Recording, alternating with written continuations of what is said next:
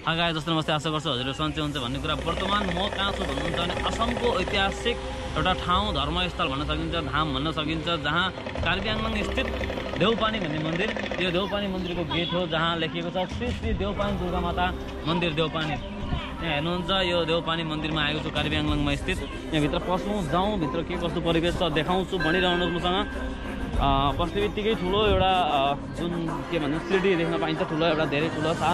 अनि त्यहाँबाट दर्शनार्थीहरू आउनुहुन्छ। यहाँ दर्शनार्थीहरू यहाँ आउनुको उद्देश्य चाहिँ हुन्छ के भने यहाँ आएर दर्शन मात्र गर्नाले पनि मनको इच्छाहरू पुरा हुन्छ भनिन्छ। त्यही कारणले यहाँ अनेक ठाउँबाट दर्शन गर्नहरू मान्छेहरू आउनुहुन्छ।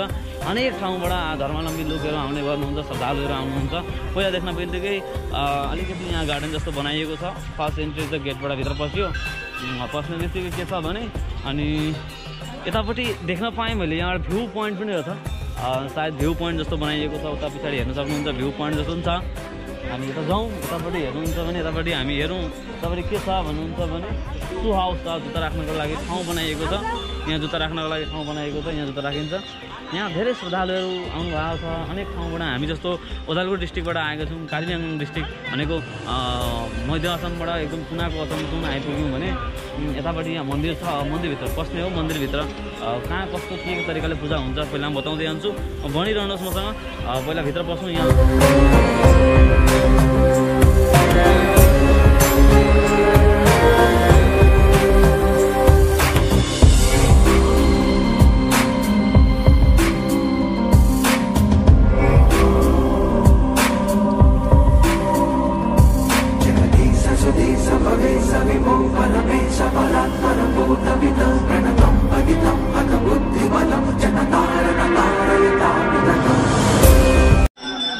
पहिलो कार्यक्रम थियो दिया बाल्ने दिया बालिसकेर हामी अब अगाडिपट्टि जाने। यहाँ सबै घन्टीहरू पनि झुन्डाइएको छ। घन्टी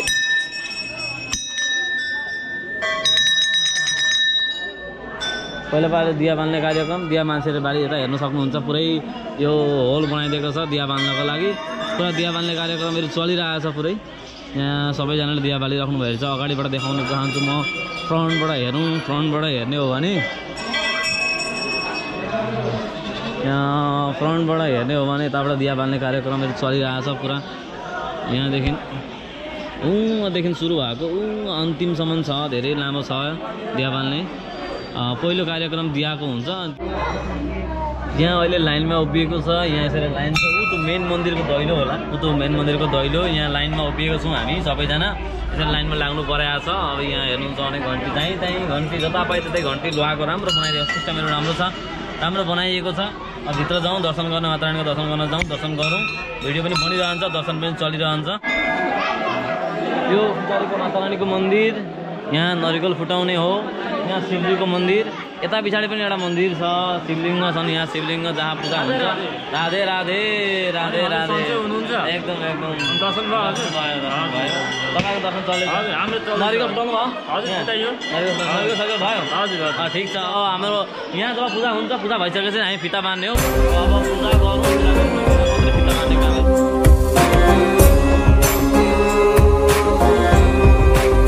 यही ठाउँ हो यिनै गाउँ हुन् जहाँ रातो फिता बाँधेर मनको कामनाहरू पुरा हुन्छ भनिन्छ। यहाँ हेर्नुहोस् सबैले यहाँ रातो फिता बाँधेको छन्। पुरै ठुलो ठुलो रुख छ यो रुख।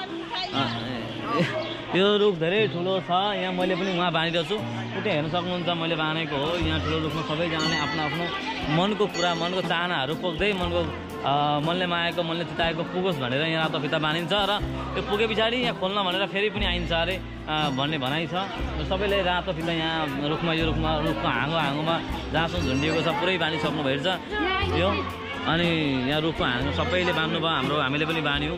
सबै जतिजना आउनुहुन्छ सबैले फिता लिएर आउनुहुन्छ रातो फिता। रातो फिता लिएर आएर यहाँ यहाँ बाँध्ने गरेको छ। यो मेन मन्दिर देउपानीको यो मेन मन्दिर यो रुख जहाँ जुन रुखमा राता फिता मात्रै बाँधिएका छन् धेरै राता फिता बाँधिएका छन् पुराना पुराना पुराना पुराना थिए। यहाँ भनाइ छ यहाँ रुखमा रातो फिता बाँध्यो भने मनोकामना पूर्ण हुन्छ भनाइ छ।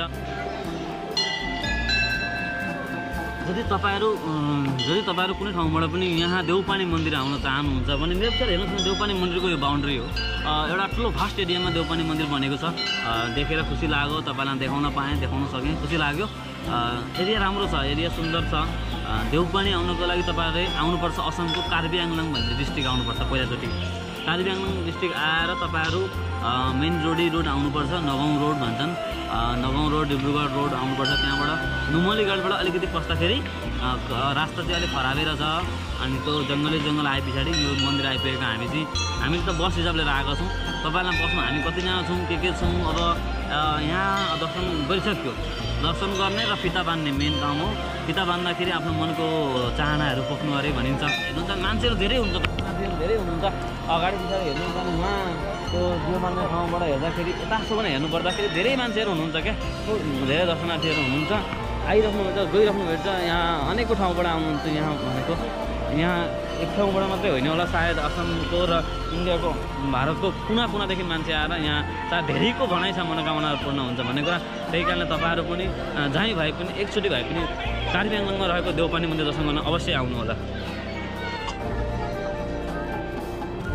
यो हो प्रवेशद्वार उहाँ थियो। प्रवेशद्वार उहाँ छ तपाईँहरू हेर्न सक्नुहुन्छ।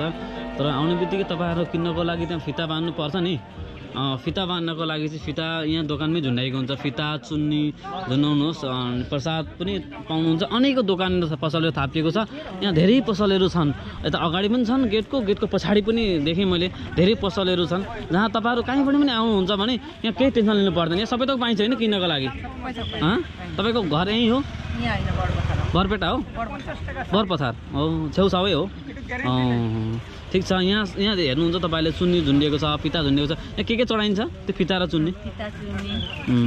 यहाँ भनिन्छ नि मनोकामना पूर्ण हुन्छ भनेर होइन? यहाँ हेर्नुहुन्छ भने प्रसादहरू पनि राखिएको छ। यहाँ पस्ने बित्तिकै तपाईँहरूलाई असुविधा चाहिँ केही हुँदैन। यहाँ आउनुभयो भने खाली हात आउँदा पनि तपाईँहरूले यहाँ सबै त किन्न पाइन्छ। यहाँ पुरा पसलहरू राखिएको छ यता पनि पसल छ अगाडि पनि पसल छ होइन? सन्चै हुनुहुन्छ? राम्रै हुनुहुन्छ? यहाँ गाडी माने अगाडि आफ्नो दोकान अगाडि राख्दाखेरि आफूले साथ पार्किङ पाइन्छ भन्ने खालेको होला कुराकानी। त्यही कारणले यतापट्टि हेर्नुहुन्छ भने पुरा पसलै पसल झन्डाइदिएको छ। तपाईँ कस्मेटिकको सामानहरू पनि यहाँ अलिअलि देख्न पाइयो